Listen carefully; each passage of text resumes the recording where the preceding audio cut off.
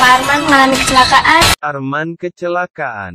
Love Story The Series episode 644, Tante Emily yang sempat berbahagia karena sudah bertemu Arman, kini mengalami musibah besar. Pasalnya, suami tercintanya, yaitu Arman mengalami kecelakaan. Berita duka tersebut, datang sendiri dari pihak rumah sakit tempat Arman dirawat. Sungguh, berita ini membuat Tante Emily sok. Baru saja menikmati, masa-masa indah bersama Arman yang baru lagi ketemu. Kini berubah lagi menjadi duka lara. Apakah Arman bisa selamat dari kecelakaan tersebut? Saksikan terus sinetron Love Story The Series, hanya di SCTV.